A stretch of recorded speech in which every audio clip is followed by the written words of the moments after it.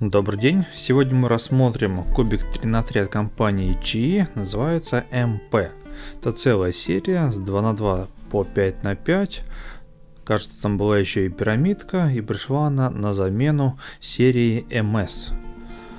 3 на 3 MS от того же Chi. А, такая серия выпускалась раньше. Посмотрим, что поменялось. Ну, во-первых, упаковка стала такая красочная, а, более детская, ну, веселенькая.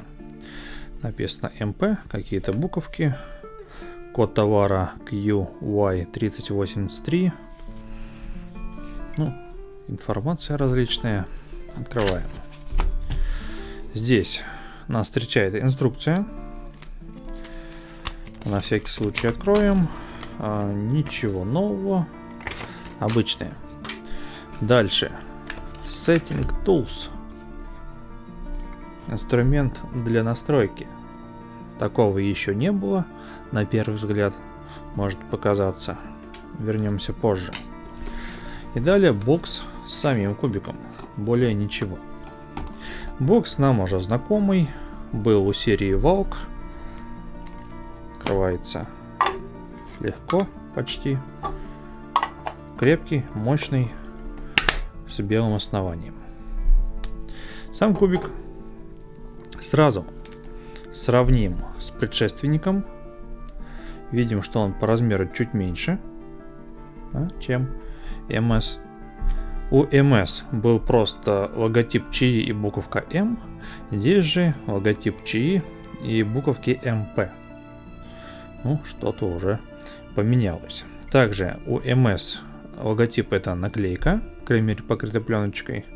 Здесь же логотип напечатан. Центр более скругленный, ну и так видно, что немного строение изменено. Позже сравним. Я только что закончил финальные 50 сборок на камеру в процессе тестирования этого кубика. А, всего более 1000 сборок я произвел и сразу скажу, что это худший кубик из тех, что я тестировал за последнее время. Это были Erestrium Maglev, Yuxin Little Magic 2, да из бюджеток. Ну, топовые, понятно, все этот куб будут превосходить. На очереди еще Дяншенг из бюджетных. Посмотрим, что будет. Не распаковывал еще, буду тестировать следующим. Но из тех, что вот мне довелось крутить в последнее время, этот кубик самый неудачный. Давайте сделаем сборочку. Послушайте звук.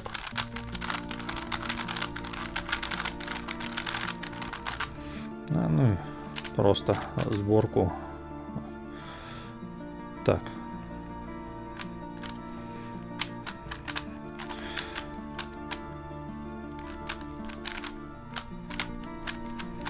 А, совсем неудачно начал собирать, но у меня почему-то к нему сложилось негативное отношение. Давайте разбираться почему. Во-первых, давайте начнем с положительных моментов. Это все-таки объективный обзор. А что здесь хорошего? Хорошего это система регулировки. Давайте сразу вскроем а, ее, посмотрим, откроем крышечку и увидим. Вот новая система регулировки. А, похоже, уже где-то была. Давайте посмотрим, что же там внутри у торнадо. Это торнадо, это МП. Мы видим, действительно есть сходство. У торнадо есть еще вторая система настройки, которая на моем кубике почему-то не работала. У МП второй системы нет. Ну, по идее, получилась одинаковая система регулировки. Ну, надеюсь, есть владельцы торнадо V2, у которых а, вторая система тоже работала. А, в чем суть? Ну, здесь просто кружок, который вот этим ключиком можно вращать. И вращать можно против часовой стрелки. Есть несколько положений, 5 а, кажется, и все они различаются по цвету, видна циферка. То есть это уже сразу хорошо, визуально сразу понятно, какая грань в каком положении находится, но что плохо, то, что это все не сбалансировано. Как и торнадо, этот кубик пришел очень сильно затянутый, хотя стоял на среднем положении. Я потерпел сотню сборок, чуть больше может быть, а лучше не стало, поэтому стал откручивать назад. И делал кубик менее затянутым. В итоге синее положение на единичке, стоят все грани, и кубик все равно какой-то не такой, сильно локапящий. Хотя вот, он достаточно растянут. Даже сильнее, наверное, чем торнадо.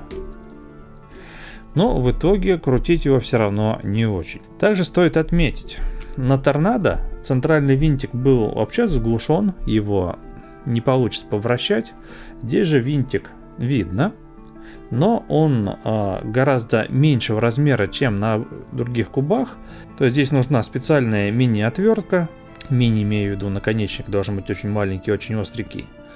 И это понятно, потому что настройка, если есть дискретная, то винты крутить не надо. Об этом я говорил, обозревая кубик RS3M. Там оставили возможность крутить винт, что обесценивает дискретную систему настройки. Здесь же технически с обычной отверткой повращать винт не получится. Поэтому настройка как бы адекватная, жаль неудачная.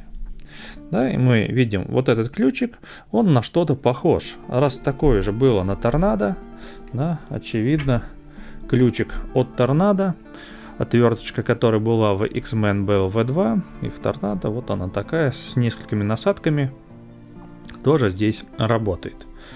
То есть одно и то же. Визуально мне этот белый ключик сразу что-то напомнил, и вот быстро нашелся оригинал. Но это, естественно, насадка. Да, на этом кубике можно собирать быстро. Возможно, найдутся любители, кому это понравится. Он достаточно громкий, э, жесткий, очень жесткий. Если вот брать потом в руки RSTRM какой-нибудь, небо и земля абсолютно разные кубы. Вот Юксин и RSTRM Маглев. Их берешь и уже как бы отдыхаешь. Их хорошие кубики. Ну а RS3M он сам по себе мягкий. Я не скажу, что эти кубики супер удачные, но они гораздо лучше, чем GMP. Да, можно на нем собирать быстро. А у меня на нем есть сборка чуть больше 10 секунд, которых не было на предыдущих кубах, которые я тестировал. Но это совершенно не значит, что собирать этот кубик приятно. Я, честно говоря, хоть и без самого сильного негатива дособирал эту тысячу, но и без особого удовольствия. Сбивает настроение сесть покрутить трешку, когда там о чем ты размышляешь. И да, этот кубик как раз я брал с собой на отдых в лес, где отдыхал с семьей. Открутил на нем там сборок 100 и как бы больше не захотелось. В течение двух недель где-то я эту тысячу крутил. В итоге с перерывами, думал, мое отношение поменяется, но все же нет. И сегодня вот эти финальные сборок 70 я крутил, и возможно это усугубилось тем, что были холодные руки, в квартире прохладно. Сборки были совсем неудачные. А, сотка даже не опустилась ниже 16 секунд, то есть хуже всех предыдущих кубов. Я не рекомендую GMP 3 на 3 для покупки. Возможно кому-то понравится. Он не похож на MS. То есть стиль вращения какой-то другой. Uh, у торнадо была та же проблема, что из коробки он был туговат, и я также ослабил его на единичку, на самую слабую позицию жесткости. Но торнадо все-таки топовый куб, и вращается он ну, по-другому. Терпимо. Здесь, не знаю, постоянные локапы. Вот такие вот.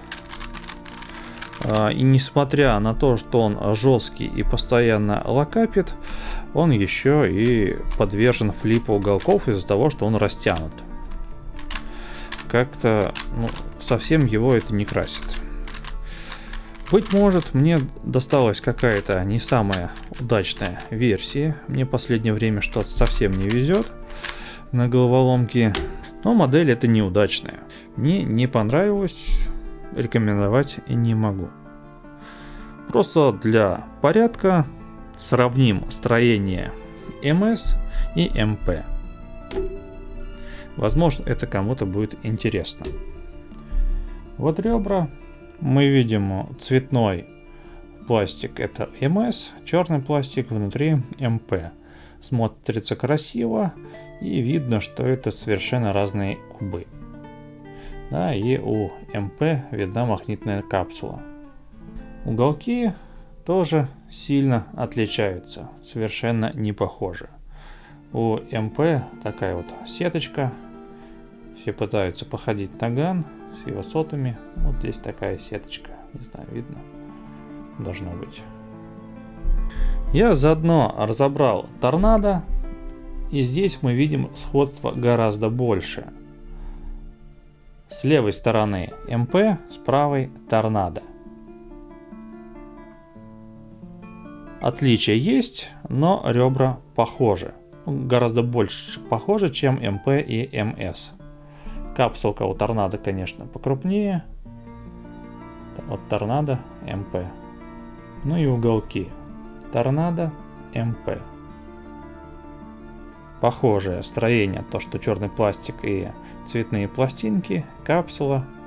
Здесь паутинка, здесь сеточка. Ну, какое-то сходство есть, хотя у торнадо ножка вот такая тонкая, звонкая, а у MP есть усиление.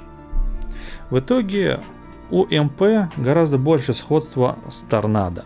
Ну, по крайней мере, мне так показалось. И по ценовой категории, конечно, МП подороже. Там в комплекте бокс, система регулировки, конечно, такая, как мне нравится. То есть можно видеть то, что ты настраиваешь не как у RS3M. Но в итоге куб не очень. Как-то так и вышло. А больше я собирать этот кубик, наверное, не буду. По понятным причинам. Те, кто хочет посмотреть 50 сборок а, на камеру без монтажа, можете найти их по ссылке в описании. Дальше у нас будет Diansheng S3M. Сегодня буду его распаковывать, смотреть. MS3L а, откладывается непонятно на какое время. Я тут открыл коробочку и увидел, что мне присылали не ту версию. Я заказывал а, с двойной магнитной системой, а здесь слабые магниты, ну стандартная версия. Заплатил я за двойную систему магнитов, а прислали обычную. То есть этот кубик я крутить не собираюсь, пока веду переписку с продавцом, обзор откладывается. Не пойми насколько, будет ли вообще пока непонятно. Но зато тем временем приехал MGC Evo, также запакованный, приехал только вчера. Скорее всего, MGC я протестирую раньше. Также вместе с MGC приехал Scube Wonder Z от Limcube, и он не крутится так, как нужно. То есть, по идее, он должен при вот таком положении да, три угла с черточками с одной стороны, он должен вращаться как скьюб. А он не вращается. Это либо брак, либо э, наклеили стикеры неверно. Пока я не разобрался. Возможно, буду разбирать механически, смотреть, что внутри. Если ничего не получится, то также буду общаться с продавцом. А значит, пока не разберусь, а, ничего про него рассказывать тоже не буду. Подозревать неполноценную модель не стану. Но он вот есть, лежит. А на этом у меня все. Не рекомендую МП Чи никому. Если у кого-то другое мнение, пишите в комментариях. Всем спасибо, всем пока. thank you